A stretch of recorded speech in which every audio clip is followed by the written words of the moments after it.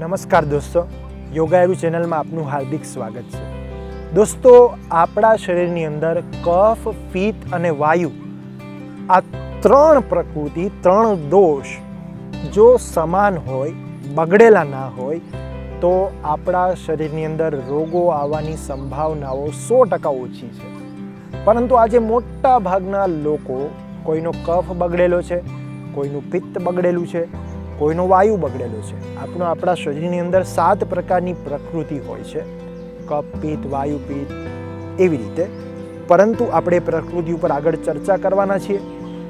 પરંતુ આજે હું તમને આ કફ પિત્ત અને વાયુ, આ ત્રણ દોષને સંતુલિત રાખવા માટેની એક આયુર્વેદિક ઔષધિ બતાવવાનો છું. કે જે ઔષધિ આપણા શરીર માટે, આપણા સ્વાસ્થ્ય માટે ખૂબ જ ઉપયોગી છે. તો એ આયુર્વેદિક ઔષધિ છે ત્રિફળા. દોસ્તો આજે બજારની અંદર ત્રિફળા ચૂર્ણ તો મળે જ છે. અમુક સારા પણ છે અને અમુકની અંદર માત્રાનું પ્રમાણ થોડું આઘું પાછું, એટલે કે આગળ પાછળ છે. તો આ ત્રિફળા ચૂર્ણની અંદર માત્રાનું પ્રમાણ કેવી રીતે હોવું જોઈએ? એક, બે ને ત્રણ માત્રા હોવી જોઈએ. મુખ્યત્વે આ ત્રિફળા ચૂર્ણની અંદર હરડે, બહેડા અને આમળાનું ચૂર્ણ આવતું હોય છે. તો આનું પ્રમાણ એક, બે ને ત્રણ એટલે કઈ રીતે?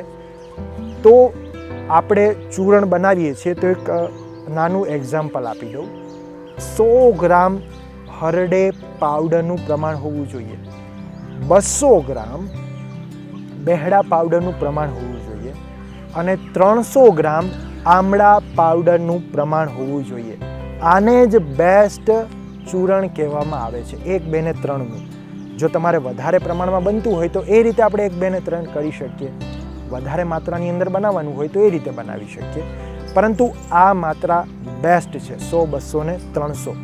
આવી રીતે આપણે બહારથી પણ આ ઔષધિઓ લાવી ઘરે બનાવી શકીએ છીએ. આપણા શરીરની અંદર મળનું પ્રમાણ, કફનું પ્રમાણ, વાયુનું પ્રમાણ, પિત્તનું પ્રમાણ આ બધા જ પ્રમાણોને સંતુલિત રાખે છે. મળનું વિસર્જન કરવામાં, શરીરને શુદ્ધ રાખવામાં ખૂબ જ આ ત્રિફળા ચૂરણ ઉપયોગી છે.